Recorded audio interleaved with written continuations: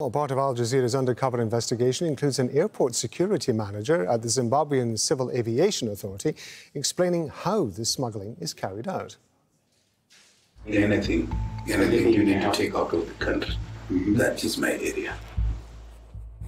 You need to be telling me uh, what? what you are carrying. It will, it will also help in making some charges. Yes. If, for example, you are taking money, we need to know how much you are taking. Usually for money, it's, it's about 5% of what you are taking. But if you are taking precious minerals, gold, diamond, the prices are up.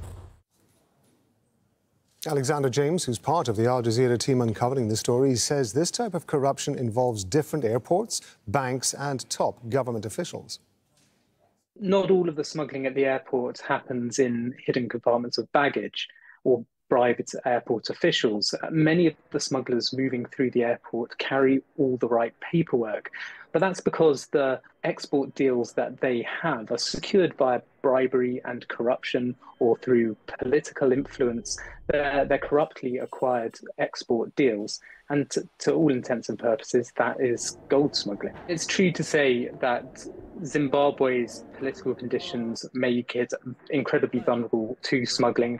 Uh, a recent report found that $1.5 billion are lost every year uh, through gold smuggling.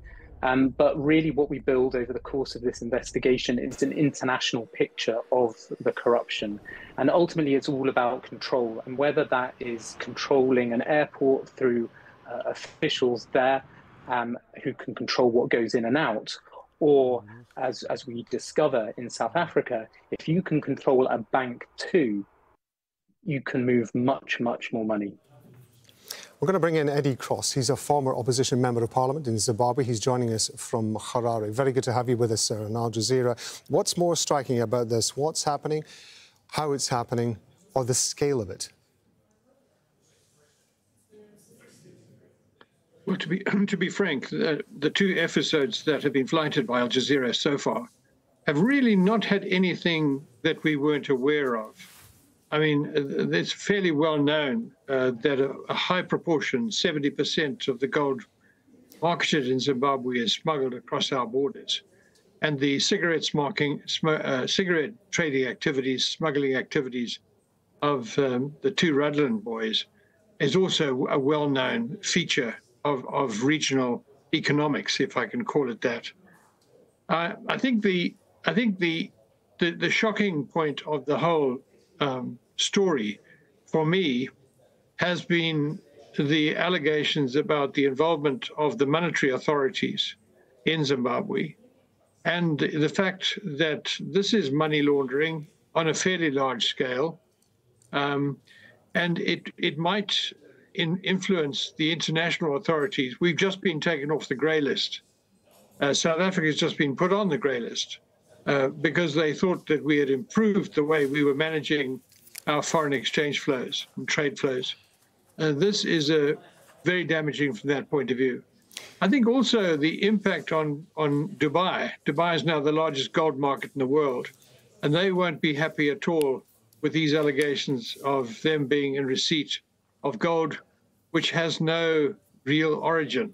Um, and I think the world gold community is moving towards a time when they're going to ban such gold movements, similar to the blood diamond industry.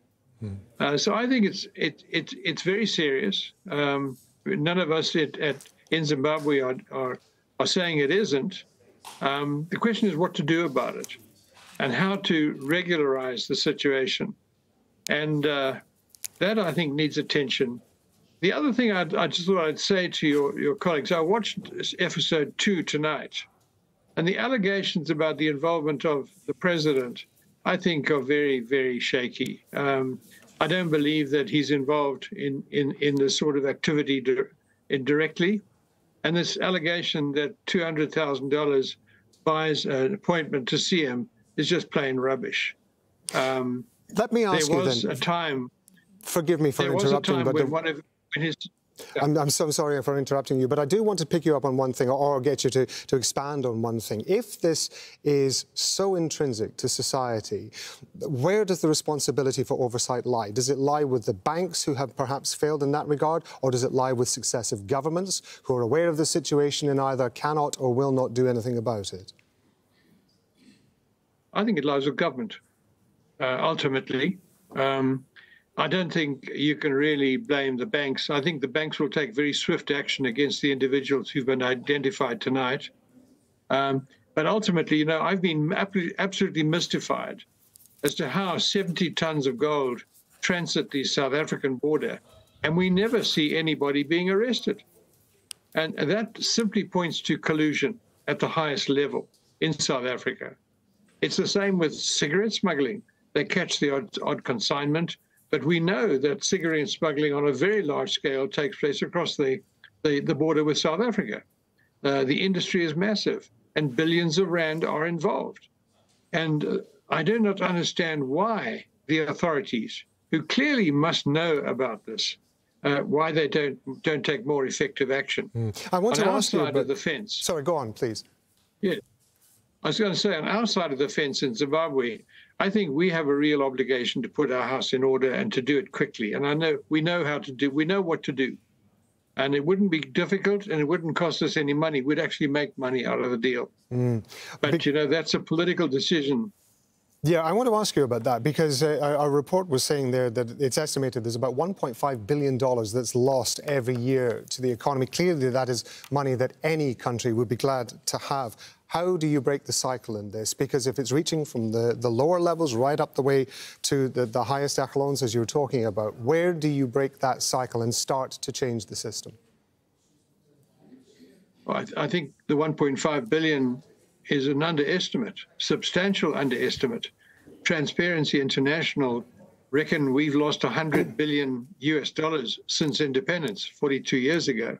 That's more than $2 billion a year. Um, I think the losses through this kind of activity run to many billions of dollars. Uh, but look at look at the Gupta scandal in South Africa. I mean, my goodness gracious, the scale of that and the audacity. Um, you know, it's, it's just mind blowing. And, Let me ask you about the point that you made. We, let me ask you about a point that you made earlier on. You said that the banks were likely to take very swift action as a result of uh, what they've been learning. We've heard already in the report that some of them are, are already addressing it. And yet you did mention that you were not able to work out how the government was actually going to respond to this. What would be the best way for the government to respond to this? Well, I can tell you that uh, the so-called um, pastor, the, the, the, the, the, the guy who claimed to be a Christian, a Christian pastor, has been stripped of his diplomatic passport. In fact, he's had his passport removed from him, and uh, the president has stripped him of all all all uh, status. Uh, he might, in fact, fail jail time. Um, I know that uh, one of the big white uh, gold traders has fled the country uh, with his family. And I would imagine that there will be other elements inside that story against which action will be taken. But, you know, the, the fundamental problem for African states, can we identify them as just plain African? You know, in maybe it's a global problem. Uh, this question of corruption and when it takes when it takes root, the Chinese, I think, have the, the right approach. Uh, uh corruption is a criminal offense and it is subject to the the the most severe punishment uh, that's in the book. Mm. And uh, I think we've got to do the same thing here. Eddie Cross, we appreciate you joining us on Al Jazeera. Thank you very much indeed for your time, sir. Thank you. Thank you very much. You can watch the second of our four-part series, Gold Mafia, Smoke and Mirrors. The full episode's coming up on Al Jazeera at 20 GMT.